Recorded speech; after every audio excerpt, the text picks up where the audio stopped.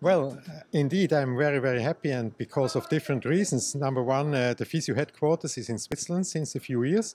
On the other hand, we hosted only one time the Winter Universiade in 62, so it's time to come back. And the motto of our bidding committee, of the bidding committee of Lucerne Central Switzerland, is Welcome Home.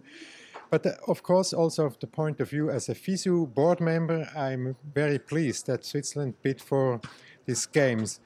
Switzerland is in the heart of the Alps, and we need also countries from the Central Europe, like Germany, France, Austria, Italy, Switzerland. And I hope that this bid from Switzerland is a good signal also for other countries around Switzerland to consider a bid in the future.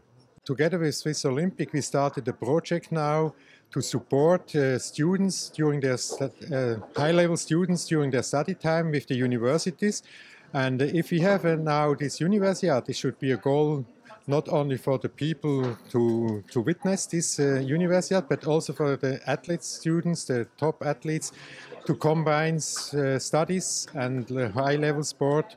And with the university, I'm sure that we can give some influence and some inputs to the rectors, to the professors, and this would be uh, beneficial for Swiss university sport and for Swiss students.